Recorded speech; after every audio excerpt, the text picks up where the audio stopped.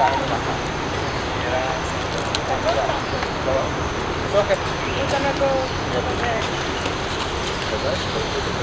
they're going to follow us, right? Yeah. yeah.